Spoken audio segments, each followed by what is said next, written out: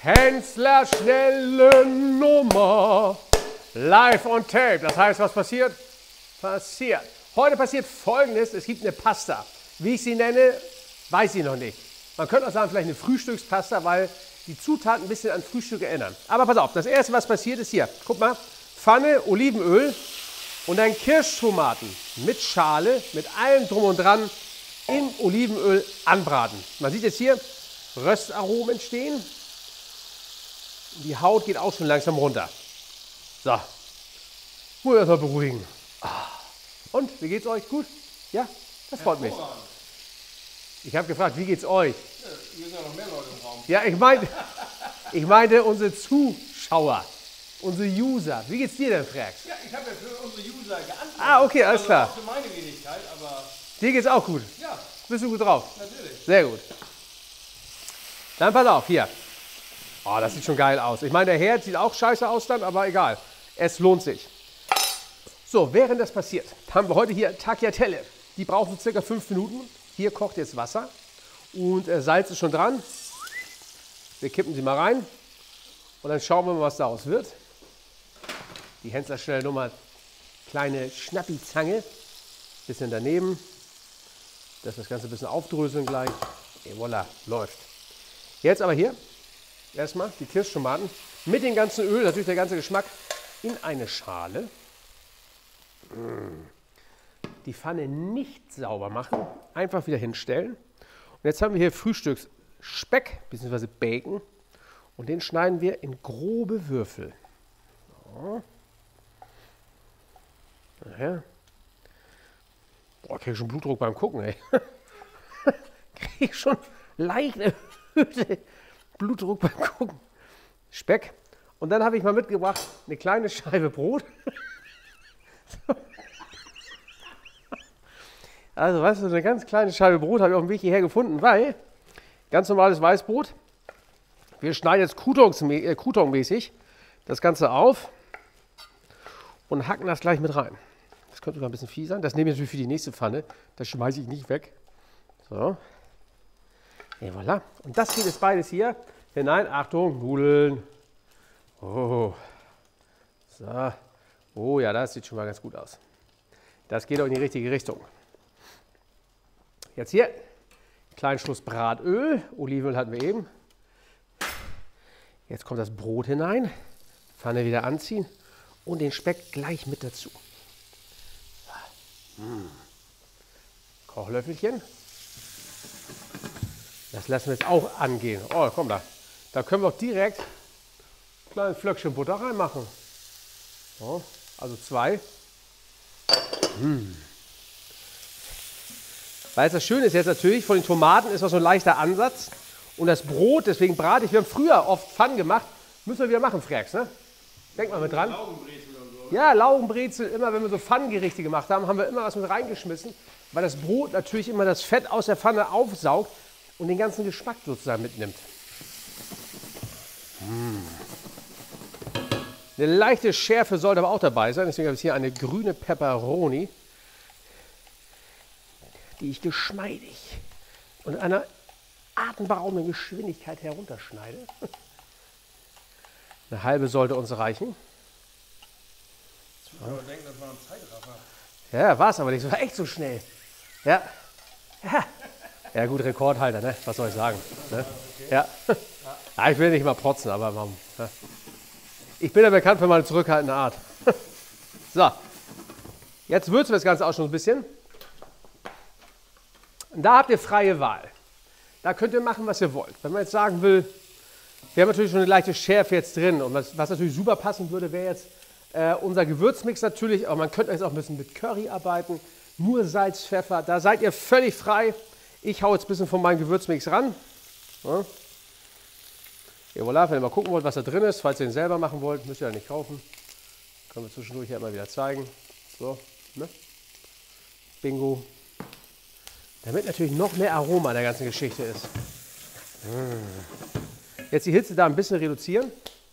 Jetzt kommen Eier. Wir machen Spiegeleier und Eiermasse an das ganze Zeug dran. Aber jetzt machen wir mal so, wir tauschen das mal aus. Braten die Spiegeleier an. Übrigens hier, kleine Pfanne, 24er, jetzt auch erhältlich. Und man muss sagen, diese Pfanne ist nicht die freundlichste Pfanne zu Spiegeleiern.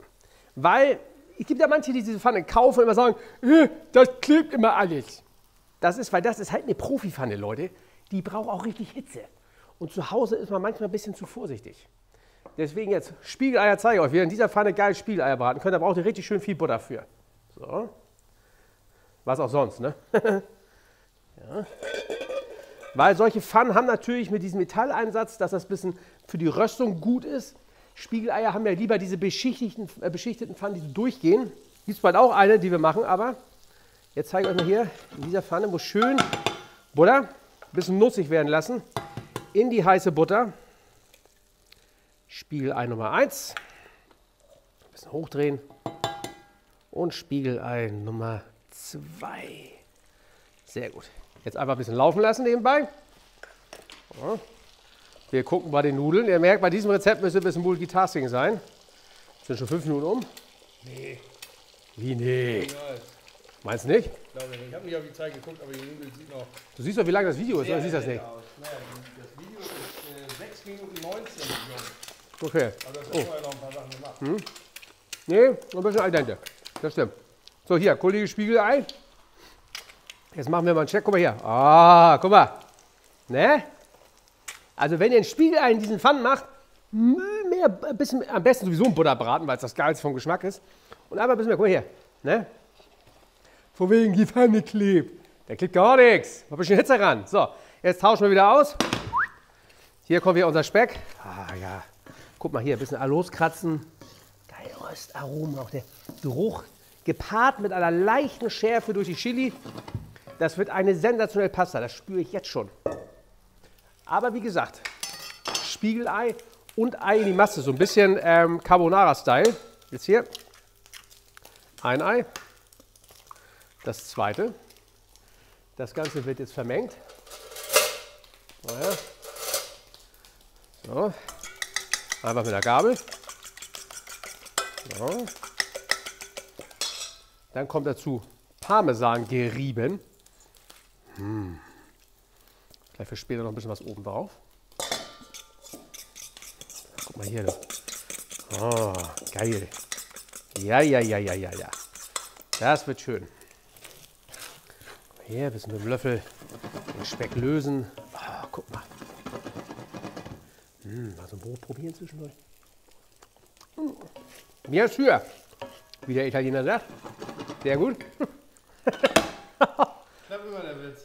Ey, die plattesten Dinger sind die besten. Weißt du Vor doch. allem und die eigenen vor allem. No- Normal.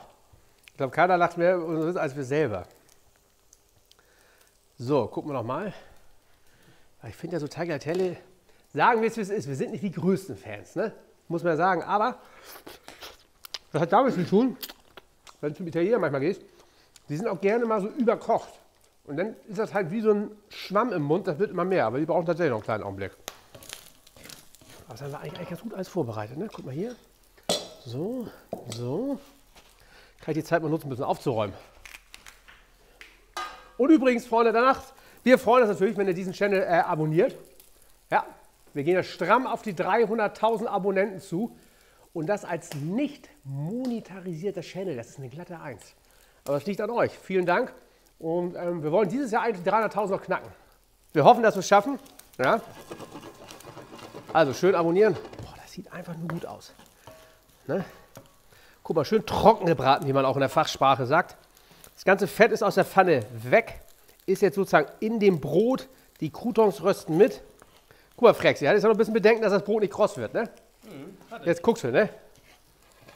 Was sagst du jetzt? Sagst du, ja. Äh, be- sprachlos fast. sprachlos, ne? Guck mal, die Spiegeleier auch. Guck mal, das ist eine Eins. Geil. So, jetzt muss die Pasta aber echt gut sein. Jetzt mal her. Ja, ja.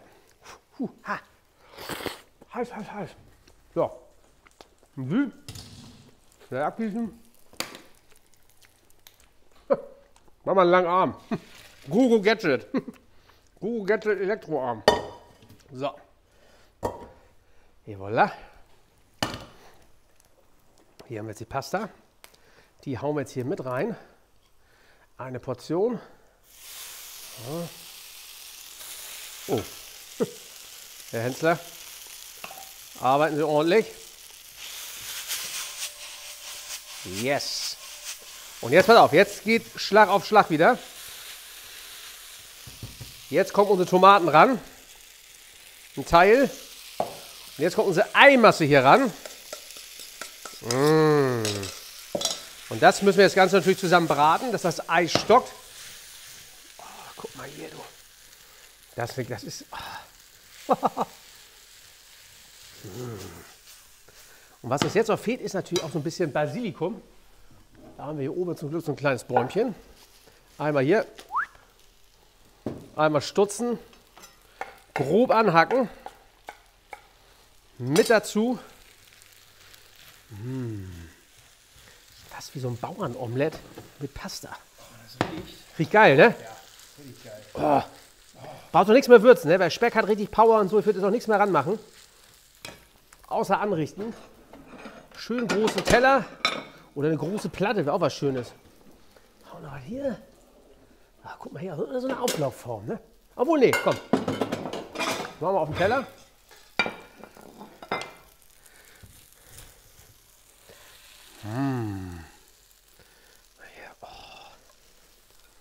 Das ist halt so ein Essen, was direkt auf die 12 ist, ne? Ich meine, danach muss ich erst wieder schlafen legen, wenn es morgens ist, ne? Ich glaube, danach bist ich glaub, danach bist gelähmt. Aber guck's mal, alleine, du siehst den Geschmack förmlich, ne? Ja. Ganz wichtig jetzt in der Pfanne, was natürlich klar ist, der Ansatz. Nicht hier, klebt er doch.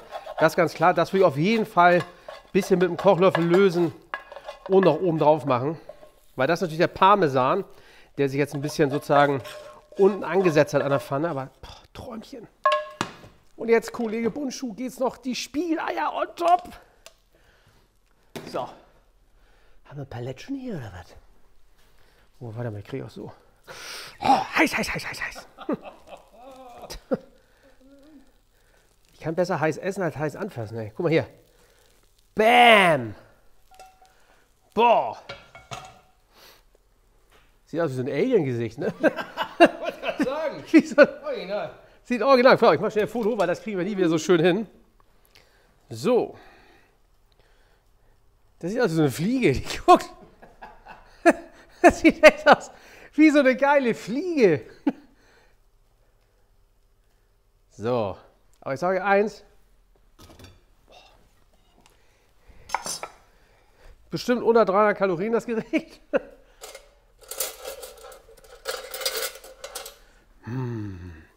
Erstmal Herd ausmachen, ne, damit hier alles ruhig ist. Jetzt wird noch probiert. Boah, guck mal. Das ist natürlich hier das Brot, die Tomaten. Puh, super. Probieren wir Spaghetti. Mmh. Mmh. Geil, so eine ganz leichte Carbonara-Anmutung. Durch Speck und natürlich durch die ganzen Sachen. Aber du hast nicht so dieses völlige, also Carbonara ist ja nur sehr sehr so, boah, Sahne, also meistens Sahne, Ei, Parmesan, Speck. Aber die Tomate, die verteilt sich auch ein bisschen, sieht man hier auch von der Farbe, gibt dem Ganzen so ein ganz leichtes Säurespiel. Hm. Ist viel leichter im Mund, als ich selber das gerade dachte. Jetzt noch Spiegelei dazu. Und jetzt noch 500 Gramm Steak dazu, dann ist rund. Hm. Boah. Geile, nennen wir sie mal Frühstückspasta. Milanese. Milanese. Sensationell. Also viel Spaß beim Nachkochen. Denkt dran, diesen Channel zu abonnieren. Und äh, das war live on tape, ohne Schnitt. Der einzige Schnitt ist jetzt whoop, zur Einkaufsliste. Schönen Tag noch. Oh. Riecht gut. Richtig, richtig. Für gebratene Bandnudeln mit Speck, Tomate und Spiegel für zwei Personen braucht ihr 52 Gramm Bandnudeln, Vier Eier, 20 Kirschtomaten, eine Scheibe Brot, 50 Gramm Parmesan, sechs Scheiben Speck, eine halbe grüne Peperoni, vier oder zwei bis vier Esslöffel Olivenöl, zwei Esslöffel Butter und ein Bund Basilikum.